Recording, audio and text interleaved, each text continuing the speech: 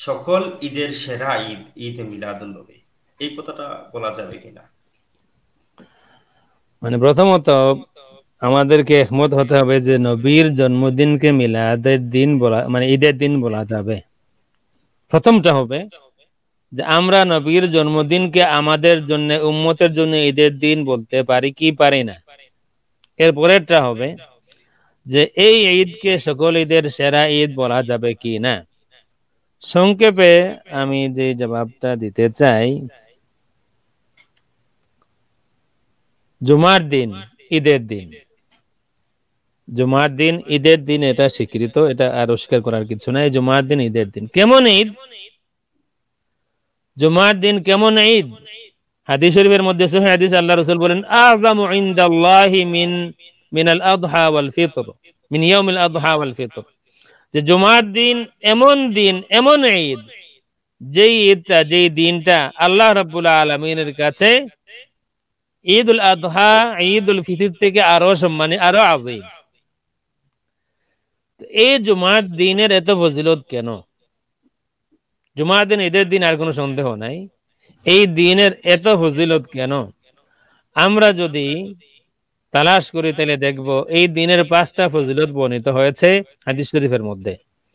এর মধ্যে তিনটা ফজিলত হচ্ছে আদম আলাইসালামকে কেন্দ্র করে। আদম আলাইসালামের জিন্দগির প্রথম দিন শুক্রবার। আদম আলাইসালাম দুনিয়াতে আসেন শুক্রবার। আদম আলাইসালাম দুনিয়া থেকে বিদায় নেন শুক্রবার, এই তিনটা। চার নম্বরটা হলো জুমার দিন, আসলে আমরা হাদিসটাই দেখি সরাসরি। এখানে হাদিসটা আছে, আপনারা দেখতে পারেন। আল্লাহ হাবিব সাল্লাল্লাহু আলাইহি ওয়া আলিহি বলেন, ইন্না ইয়াউমাল জুমআতি সাইয়্যিদুল আইয়াম ওয়া আ'যামুহা ইনদাল্লাহ। জুমার দিন সাইয়্যিদুল আইয়াম সেরা দিন। ওয়া আ'যামুহা ইনদাল্লাহ এবং সবথেকে সম্মানী দিন। ওয়া হুয়া আ'যামু ইনদাল্লাহি মিন ইয়াউমিল আযহা ওয়া ইয়াউমিল ফিত্র। এই দিন আল্লাহ রাব্বুল আলামিনের কাছে এই দিনের আজমত, ঈদুল আযহার দিন এবং ঈদুল ফিতরের দিন থেকে বেশি। ফিহি খামসু খিলালিন। এই দিনে পাঁচটা, এই দিনে পাঁচটা বৈশিষ্ট্য আছে।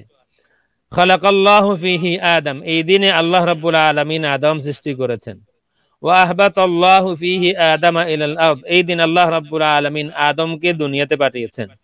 ওয়া ফিহি তাওয়াফাল্লাহু আদম। এই দিনেই আল্লাহ রাব্বুল আলামিন আদমকে দুনিয়া থেকে তুলে নিয়েছেন।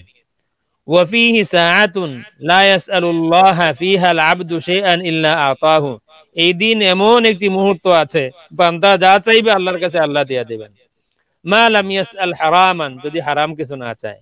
ওয়াফিহি তাকুমু সাআ আর এই দিনই কিয়ামত হবে। এই পাঁচটা বৈশিষ্ট্যের কথা আল্লাহ আল্লাহ হাবিব সাল্লাহ আলহি আলী ওসাল্লাম এই হাদিস শরীফের মধ্যে বললেন। তার মধ্যে তিনটা আদম আলাইসালামকে কেন্দ্র করে। আদমের জিন্দগির প্রথম দিন, আদমের দুনিয়াতে আসার দিন, আদমের দুনিয়া থেকে বিদায়ের বিদায়ের দিন।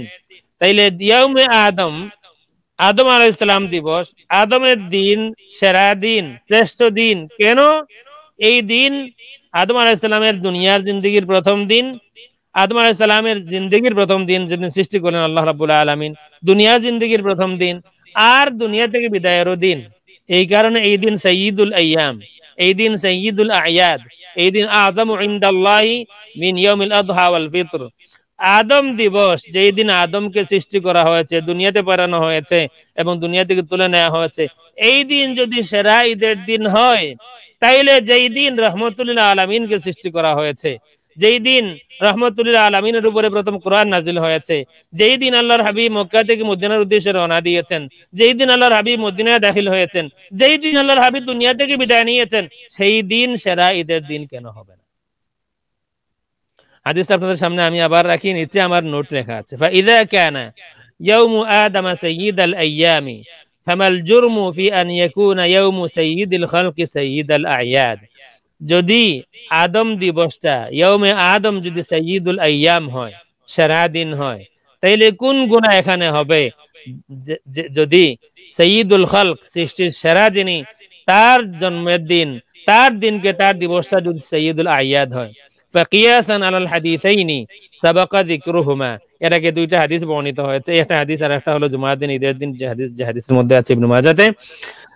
فبن فقياسا على الحديثين سبق ذكرهما آنفا لا أرى فيه بأسا أن يسمى يوم ميلاده عيدا بل سيد الأعياد كما يقال ليلة ميلاده أفضل من ليلة القدر وهذه أمور لها تفصيل যে এই দুই হাদিসের ভিত্তিতে আমি বলতেছি যে আমার আমার ধারণা আমার মত হলো যদি আল্লাহ রসুল সাল্লাহ আলহি আলী আসাল্লামের ইয়মে মিলাদ, জন্মের দিনকে ঈদ বলা হয়, তাইলে কোনো অন্যায় হবে না। বরং যদি সঈদুল আয়াদ বলা হয়, তাইলে অন্যায় হবে না। যেভাবে আল্লাহ রসুলের জন্মের ওই রাতকে লাইলাতুল কদর থেকে উত্তম বলা হয়। আল্লাহ রসুলের জন্ম যেই রাত্রে হয়েছিল, প্রতি বছরের রাত না জন্মের যেই রাত্রে জন্ম হয়েছিল, ওই রাতটা আফদালু মিন লাইলাতুল কদর, ওয়া হাদিহি উমুরুন লাহা তাফসীল।